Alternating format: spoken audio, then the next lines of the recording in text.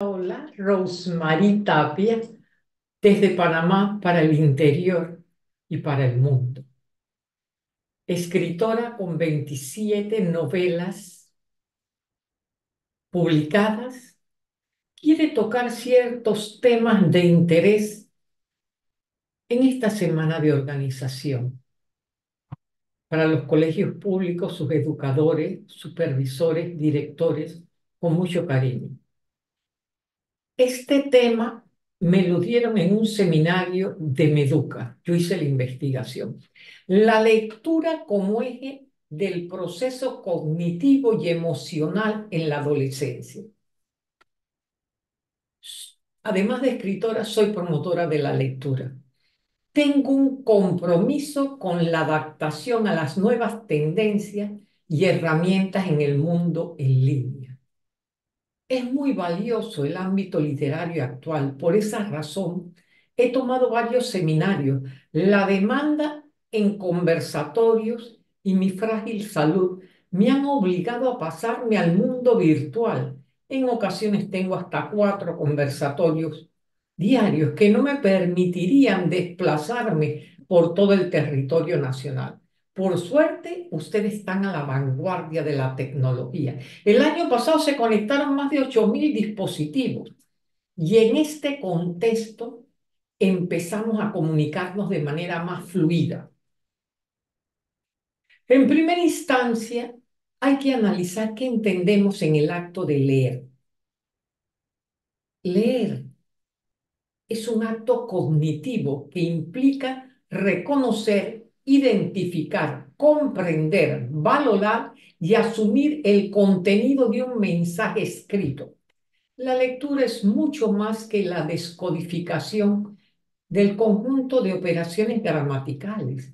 La lectura nos inspira a soñar con tiempos mejores, nos motiva a emprender nuevos desafíos y nos impulsa a ser mejores personas. Cuando compartimos sobre un buen libro nos acercamos amigos, a familiares, mejorando las relaciones humanas, enriqueciendo los contactos personales. La lectura favorece el desarrollo de virtudes morales, siempre y cuando seleccionemos los libros adecuados. La lectura promueve elementos para admirar e imitar. Mientras que los modelos vivientes pasan, los protagonistas de los libros permanecen. El hábito de la lectura contribuye a una mejor escritura, ortografía, expresión oral, al mismo tiempo que nos amplía nuestro vocabulario. En esencia, esta habilidad nos permite expresar nuestro pensamiento de manera clara y coherente. Además, la lectura es un viaje para entender la vida misma. El hábito lector es fundamental en el desarrollo del proceso cognitivo y la capacidad de concentración. Los niños y jóvenes pueden beneficiarse del desarrollo de la capacidad de la concentración que les brinda la lectura y con ello optimizar sus tiempos de aprendizaje y conseguir mejores resultados académicos. La lectura es un proceso complejo ya que implica diversos recursos cognitivos que hacen que la comprensión de los leídos se desarrolle adecuadamente y permita la adquisición de nuevos aprendizajes al reconocer, identificar, codificar la información relevante de los textos. Un joven en la adolescencia temprana utiliza más pensamientos complejos enfocados en la toma de decisiones tanto en la escuela como en el hogar empieza a mostrar el uso de comparaciones lógicas, formales, en las tareas escolares. El adolescente puede volverse agresivo, rebelde, aislado e inestable. Experimentan cambios en los estados de ánimo. De repente se sienten deprimidos, con rabia y luego felices. Crece la necesidad de sentirse admirado y valorado en los grupos a los cuales pertenecen. Beneficios de la lectura. Ayuda a ejercitar el cerebro. Fomenta la curiosidad. Aumenta la concentración. la empatía, la comprensión de los conflictos, el pensamiento crítico. Mejora la capacidad de comprensión, desarrolla la creatividad y a la vez entretiene. Ayuda a desarrollar mejor el lenguaje, aumenta la capacidad de memorizar, descubre el poder de la lectura. Los niños y los jóvenes no solo deben leer, sino también comprender el propósito detrás de cada palabra. En cada página encontrarán un camino hacia la superación personal y el crecimiento. Voy a mencionar una colección de libros que va más allá de las páginas que inspiran y transforman la vida de cada lector. Sumérgete en estas historias con un propósito profundo y hazte parte del cambio que el mundo necesita.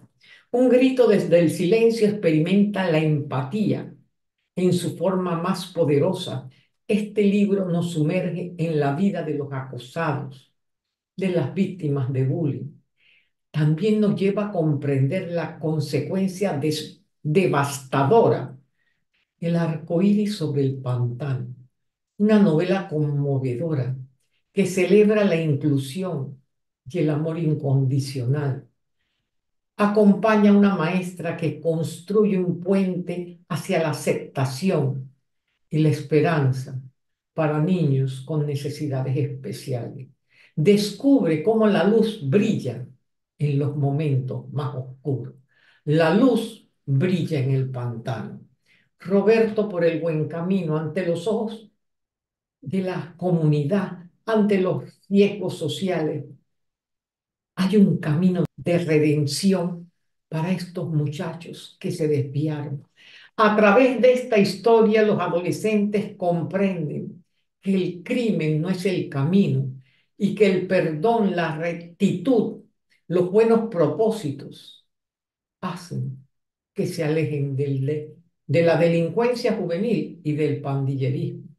Los Ángeles del Olvido, una obra que despierta la conciencia y promueve la equidad.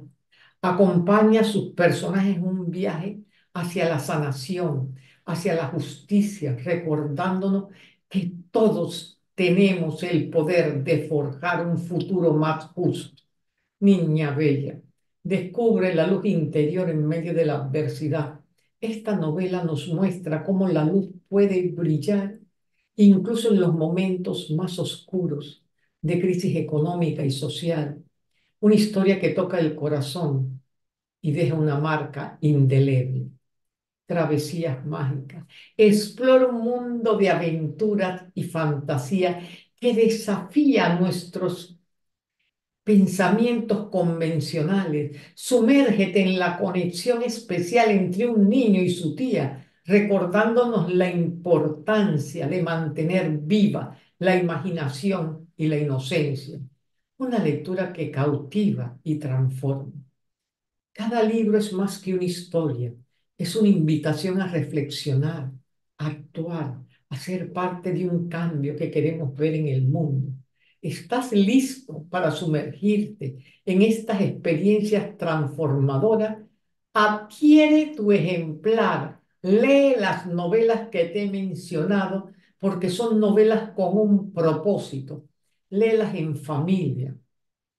En los últimos tiempos nos hemos limitado a la familia nuclear, padre, madre e hijo.